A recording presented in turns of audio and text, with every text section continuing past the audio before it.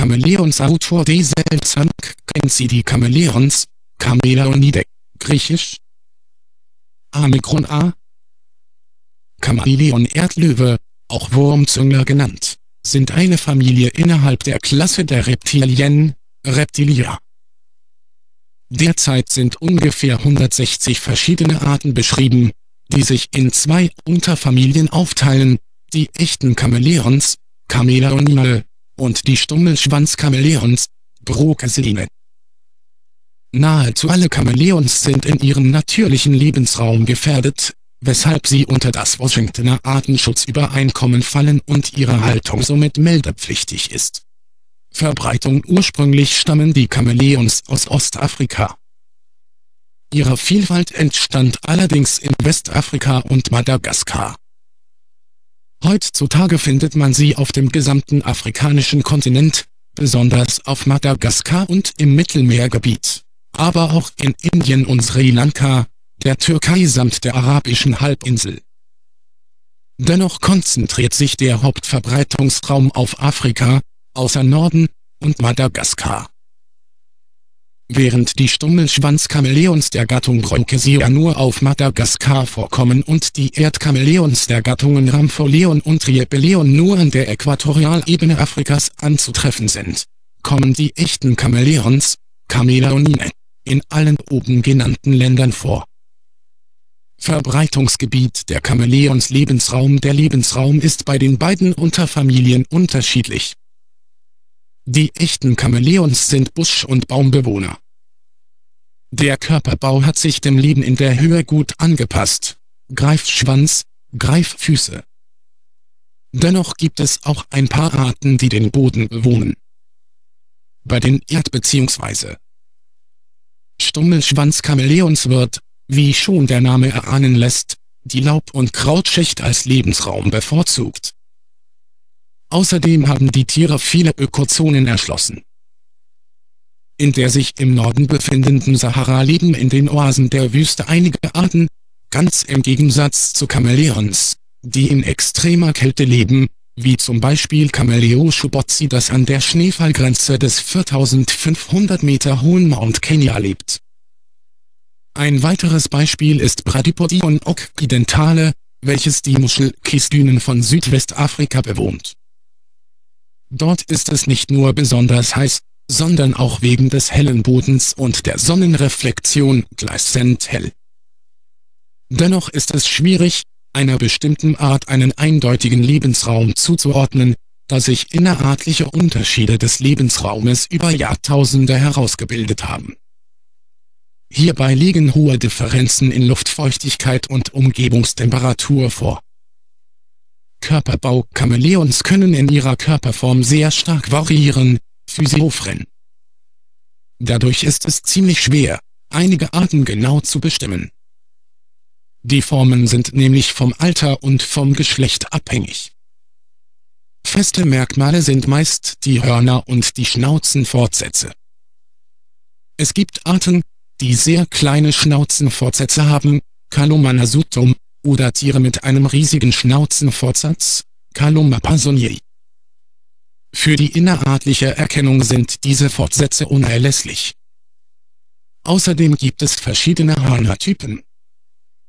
Eine Art, Cameleo quadricornis cracilior, hat bis zu sechs Hörner, Cameleo jonstoni nur drei. Des Weiteren haben die Echsen Occipitallappen. Diese Lappen werden abgespreizt, um größer zu wirken. Damit sollen potenzielle Feinde verscheucht werden. Körperbau eines Musterchamäleons Charakteristisch sind auch die verschiedenen Kämme. Jene Kämme kommen an Rücken, Bauch und Kehle vor. Der Rückenkamm ist variabel. Entweder sind es Gegelschuppen, Stacheln oder ein an eine Rückenflosse ernanntes Rückensegel wie zum Beispiel bei Cameleo cristatus. Bauch- und Kehlkämme sind heutzutage deutliche Unterscheidungsmerkmale.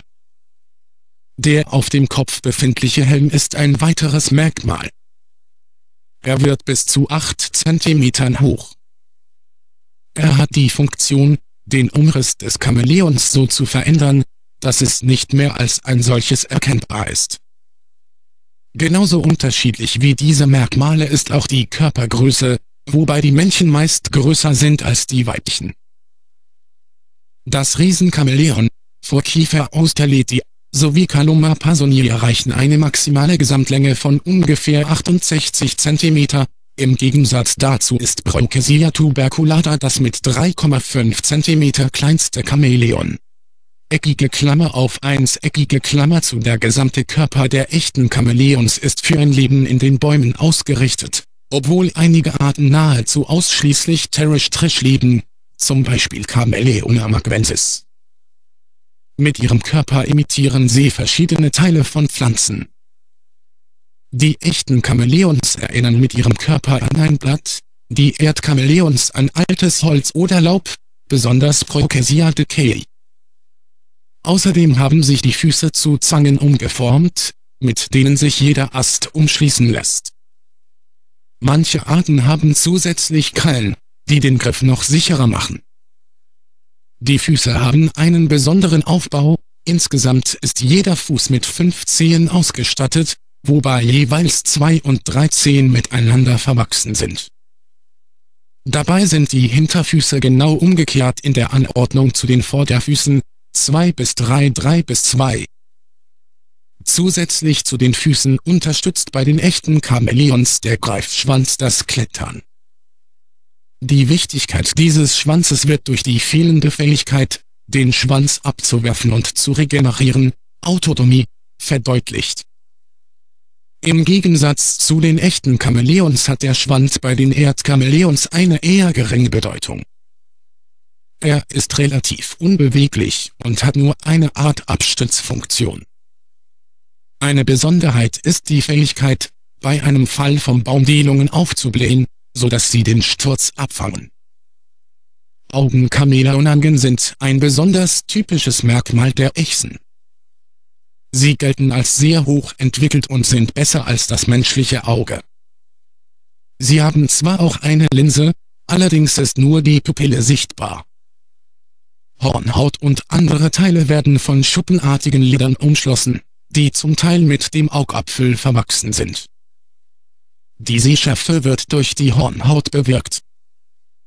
Durch das Lidloch und die Pupille tritt zusätzlich ein Effekt ein, der am ehesten mit einer Lochkamera vergleichbar ist. Dieser Effekt bringt zusätzliche Schärfe. Dadurch kann das Chamäleon auf bis zu einen Kilometer Entfernung scharf sehen. Somit kann das Tier mögliche Feinde rasch erkennen und Schutz im Blattwerk suchen. Eine weitere Besonderheit ist eine natürliche Sonnenbrille. Auf den Zapfen der Netzhaut, die nebenbei ein Zeichen für Tagaktivität und Farbensehen sind, können sich winzige Öltropfen anlagern, die angrenzende Sehnerven schützen, indem sie den Lichteinfall abschwächen. Eine weitere Fähigkeit, die nur den Chamäleons vorbehalten ist, liegt im unabhängigen Bewegen der Augen. Sie sind so angeordnet, dass sich die Sehfelder nicht zu einem Bild überschneiden können, sondern immer zwei einzelne Bilder entstehen. Allerdings weiß man heute noch nicht, wie die beiden Bilder verarbeitet werden. Die ungewöhnliche Beweglichkeit der Augen wird durch einen komplexen Muskelapparat gewährleistet. Der tägliche Gebrauch der Augen folgt einem festen Muster und gilt für jede Chamäleonart, zuerst wird unabhängig voneinander die gesamte Umgebung abgesucht. Ist ein Beutetier gefunden, wird es mit beiden Augen fokussiert. Wenn man sich die Augen noch genauer anschaut, stellt man fest, dass sie aus dem Kopf regelrecht herausstehen. Dadurch wird das Sichtfeld enorm vergrößert. Auf senkrechter Ebene beträgt das Sichtfeld 90 Grad Zeichen, auf waagerechter Ebene 180 Grad Zeichen. Es ergibt sich ein genaues Sichtfeld von 342 Grad Zeichen. Dadurch entsteht ein toter Winkel von 18 Grad Zeichen, der nur einen Teil des Rückens umfasst. Abgesehen vom Aspekt des